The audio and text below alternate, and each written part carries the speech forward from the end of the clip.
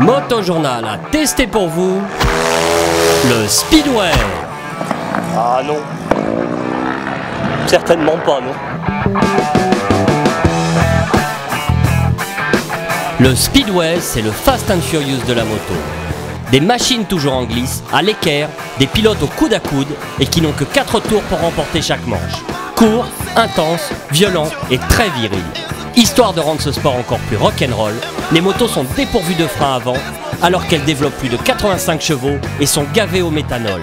Le plus grand risque étant de venir taper les balustrades et dans la foulée, de se faire rouler dessus par les furieux qui en moins de 20 secondes auront déjà bouclé le tour suivant.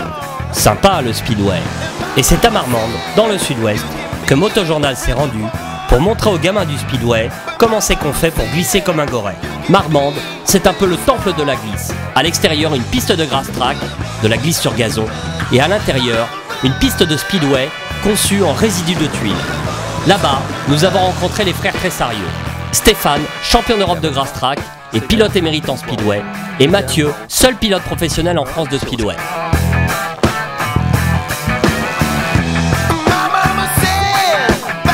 Stéphane nous explique le principe des courses. Euh, le speedway c'est des courses sprint, c'est clair. Donc un départ, 4 tours, 4 pilotes au départ. Euh, les pilotes se retrouvent à 5 reprises lors de la, journée et finissent sur des finales A, B et C. Une course peut faire jusqu'à une minute, voire moins, suivant les, les, longueurs de piste. Les pistes vont de 250 mètres à 550 mètres en speedway. 90% de la course se fait entre le départ et le premier virage. Donc il y a une très grosse bagarre à ce, moment-là. Il, y a du, du dépassement en speedway, euh, heureusement d'ailleurs, c'est son charme. Mais c'est vrai qu'il faut prendre énormément de risques pour, euh, aller doubler alors que c'est beaucoup plus facile de, partir en tête et de rester 4 tours en tête. Mais bon, on arrive à avoir des pilotes, partir 4 et, euh, finir 1 sans problème. Donc sur des différences de trajectoire. Ce qui est bien, c'est qu'un pilote va aller chercher le mou, ce qu'on appelle à l'extérieur, la, partie qui est beaucoup plus épaisse pour prendre de la vitesse, va prendre de l'élan sur un tour, voire deux tours, à prendre des trajectoires très longues, et puis après à rentrer dans les virages qui suivent avec beaucoup plus de vitesse sur le pilote devant lui, et là un dépassement plus facile.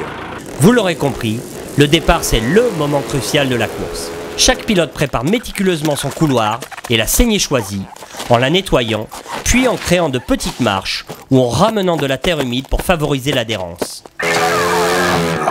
Bon, maintenant ça y est. Ah non. Teste vraiment le speedway. Toujours pas, non. non. Les machines sont-elles carrément improbables et construites sur mesure pour le speedway? Poids total fait 78 kg, un moteur monocylindre 4 temps qui développe euh, jusqu'à 85 chevaux, qui est gavé au méthanol. On trouve devant une fourche à balancier qui est, qui utilisée en sidecar avec un petit amortisseur à l'avant, des battements de 35. Donc il n'y a pas du tout d'amortisseur à l'arrière, c'est vraiment quelque chose de rigide. Le cadre a une certaine souplesse, mais la partie arrière, elle, est, plus rigide que, le reste de la moto. La particularité du châssis aussi, c'est ce cale-pied droit qui est, positionné très bas. C'est avec ce cale-pied qu'on qu fait tout l'effort sur, sur, notre moto. Transmission primaire à chaîne, avec un embrayage à sec, pas de boîte à vitesse, pas de frein sur ces machines, parce que ça ne sert à rien, on est toujours à fond. Par-dessus leur botte gauche, les pilotes optent pour une semelle métallique afin de contrôler la glisse au pied. Ils revêtent également des combinaisons en Kevlar, au design et à la déco digne du grand cascadeur Evil Cannibal. Bon, maintenant la chochotte, elle arrête de nous gonfler, elle met son équipement et elle teste le speedway pour Motojournal. Donc en position de départ, les deux pieds par terre, bien en ligne, les épaules bien droites au-dessus du guidon, et on s'avance vraiment, on exagère, on exagère vraiment.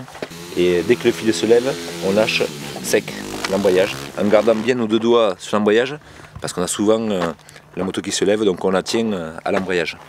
Donc là, quand tu vas rentrer dans les virages, tu vas te positionner en avant et tu vas faire un décalage avec ton corps.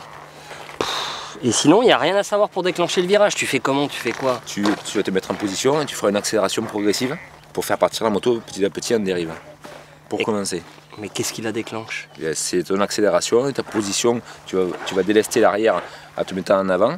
En faisant coucher la moto, automatiquement, elle va partir en glisse. Dès que, dès que la glisse est déclenchée, on va, on va, c'est un mouvement qui, qui, qui, vient tout seul. On va partir en contre-braquage.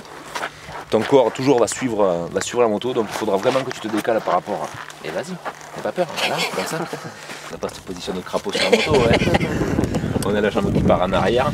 Ah, en arrière Ouais, voilà. Comme ça, elle traîne Ouais, et décale ton corps, il faut que ton corps soit. Voilà. Là, t'es un vrai pilote de speedway. N'importe quoi. On l'a dit, donc on va le faire. Motojournal test le speedway. Ok, ok, j'y vais. Lâche-moi un peu la voix off. Mais il avance pas. C'est clair. avance pas. Un poireau. C'est Un clair. vrai poireau.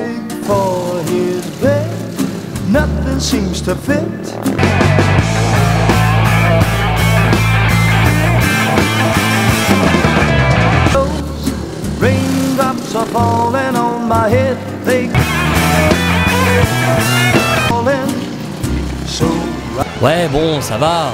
T'es lourd le réal là. On a compris, je me traîne la bite, d'accord Pas autre chose comme image euh, en rapport à mon standing Une certaine image que je souhaite préserver de moi euh right now. Hold on.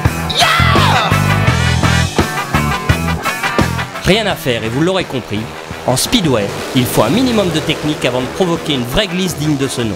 Pourtant, au cours de ce rapide essai, les sensations ressenties font exploser tous les curseurs et vous donnent envie d'y goûter pour de bon.